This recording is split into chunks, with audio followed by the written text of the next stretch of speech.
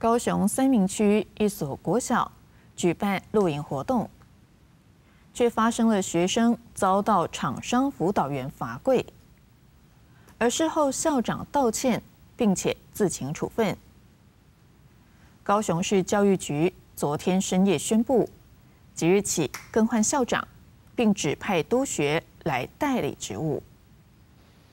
高雄市一间国小上个星期一到岐山举办五年级生露营活动，没想到隔天清晨五点多，有少数学生提早起床走动吵闹，活动厂商的职业教官竟然情绪失控，以连坐法要全体学生罚跪大约一分钟。厂商代表表示，这位教官之前也带过学校活动，并没有出现过类似行径，因此出面鞠躬道歉。校方也表示会深刻检讨。到凌晨两点的时候，老师才离开到营本部去。我们有通报系统，理论上他这个。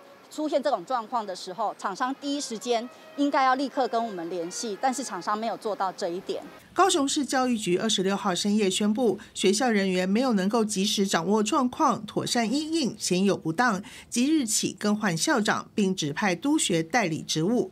记者沙燕琪、钟建刚综合报道。